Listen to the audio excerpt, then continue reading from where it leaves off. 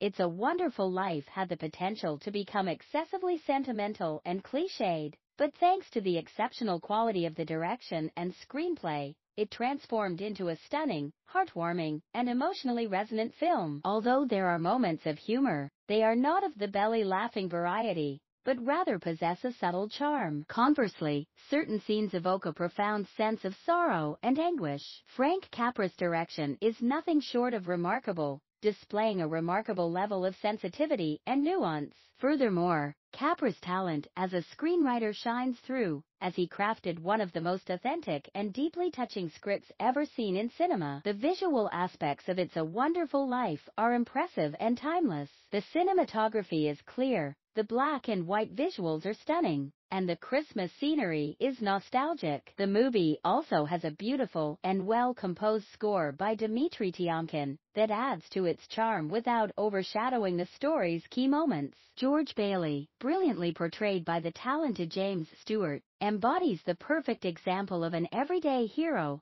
that resonates deeply with all of us. He faces the usual challenges of life, such as the responsibility of providing for and raising a family. However, his burdens extend far beyond these ordinary struggles. Unbeknownst to George, fate has chosen him to become the unyielding symbol of resistance in his quaint town of Bedford Falls against the tyrannical grasp of the wealthiest and most heartless individual in the community, personified by the exceptional Lionel Barrymore. The situation at hand can be likened to the classic tale of David versus Goliath, where Mr. Potter, with his seemingly boundless resources, holds a distinct advantage. The character Peter Bailey, portrayed by Samuel S. Hinds, aptly questions the motives behind Potter's relentless pursuit of power and wealth. Pondering the significance of such accumulation, it becomes evident that Mr. Potter possesses an extravagant amount of wealth that surpasses any conceivable necessity, leading one to consider the potential impact of a charitable act on his part. Before the arrival of Clarence the Angel, played by Henry Travers, he is told about George Bailey's life and the challenges he has faced. We witness the sacrifices he has made for the benefit of many others.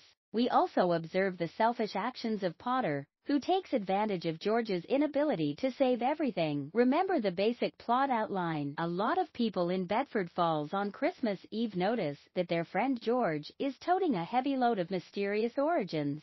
Their prayers reach the heavens where an angel is dispatched to aid. George finds himself in trouble on the day before Christmas, even though it is not his fault. This leads him to feel extremely hopeless. To help him, an angel is sent to show him what the world would be like if he had never existed. This experience teaches us all to consider the impact of our contributions. What if Potter was given the same opportunity? In a way, Charles Dickens did just that in A Christmas Carol. Would Mr. Potter change? It's an interesting point of speculation. Aside from the previously mentioned cast members, this film features a large number of actors who have previously worked with Capra. Add to that a few others, and you have a perfectly cast feature film. In the film Frank Capra strives to communicate the profound message that the actions and choices of an individual have far-reaching consequences, ultimately impacting the lives of numerous others. Through the intricate weaving of interconnected storylines,